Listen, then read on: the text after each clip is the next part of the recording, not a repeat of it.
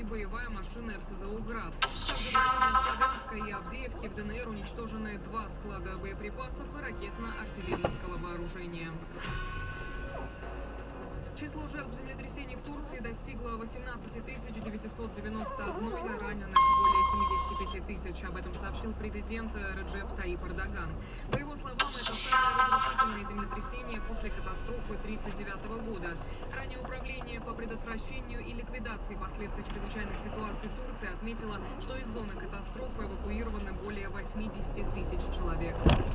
Блять.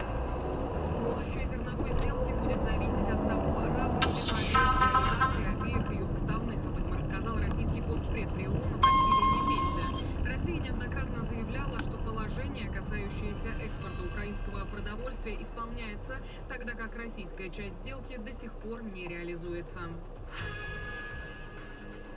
Правящая партия Молдавии «Действие и солидарность» готова сформировать новое правительство после отставки премьера страны Натальи Гаврилицы. Об этом заявил глава парламента Игорь Гроссу. Он поблагодарил премьера за самоотверженность и усилия на посту премьера. Ранее Гаврилица заявила, что уходит в отставку с поста правительства. Вместе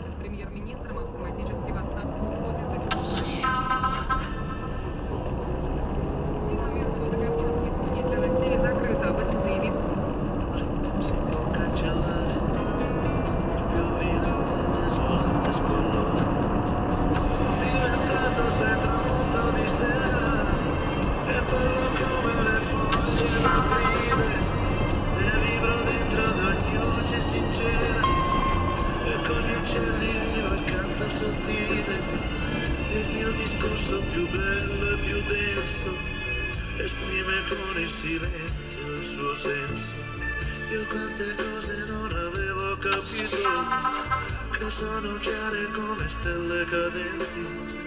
E devo dirti che è un piacere infinito portare queste mie valigie pesanti.